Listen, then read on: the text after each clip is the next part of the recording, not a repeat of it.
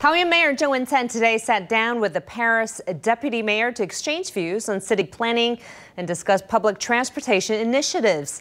Cheng also had the opportunity to get a first-hand look at urban redevelopment in Paris. Opening this garbage can doesn't mean the trash will simply sit in this receptacle.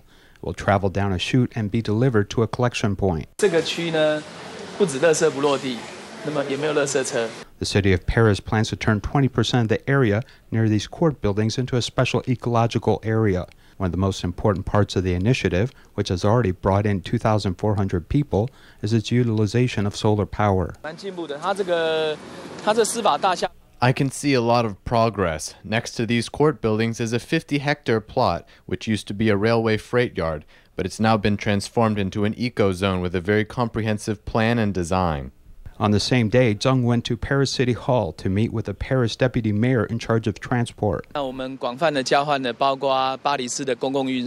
We had a wide range of discussions today, including on how Paris will strengthen its public transportation network. It has the metro, RER express trains, as well as light rail and bus. Having concluded his five day stay in France, Cheng will now continue his European trip in England.